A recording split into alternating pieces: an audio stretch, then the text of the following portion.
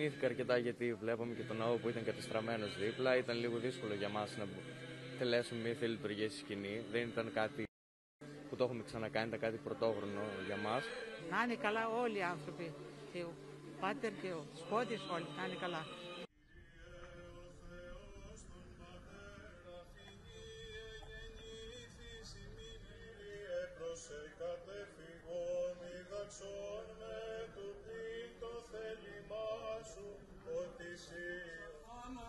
Ελέησον ημάς.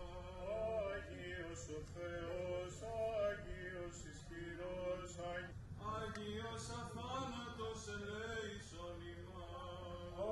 Άγιος ο Θεός, Άγιος ισχυρός. τα υπέρπα και επισκόπημον χαρίστον να σκεφάσεις Χριστό ημών κατά ποτισμού, πυρός μαχαίρας, επιδρομής αλλοφύλων εμφυλίου πολέμου και φιδίου.